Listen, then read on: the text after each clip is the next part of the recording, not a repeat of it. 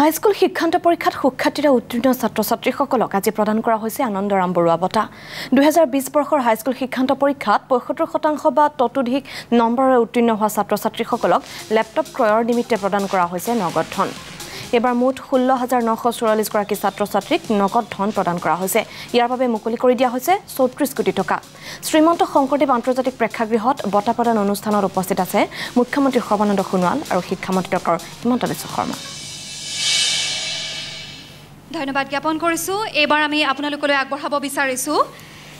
বিগত স্বাধীনতা দিৱসত বিশেষ অনুষ্ঠানত বিজয়ী দুগৰাকী শিল্পীৰ এটি সাংস্কৃতিক অনুষ্ঠান দিশা গগৈ চৰাইদেউ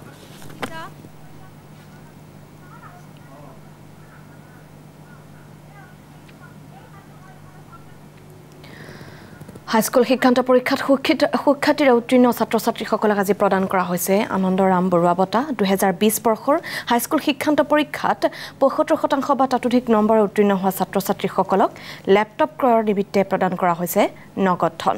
আৰু এইবাৰ মুঠ ষোল্ল হাজাৰ নশ চৌৰাল্লিছগৰাকী ছাত্ৰ ছাত্ৰীক নগদ ধন প্ৰদান কৰা হৈছে। আৰু ইয়াৰ বাবে মুকলি কৰি দিয়া হৈছে চৌত্ৰিছ কোটি টকা।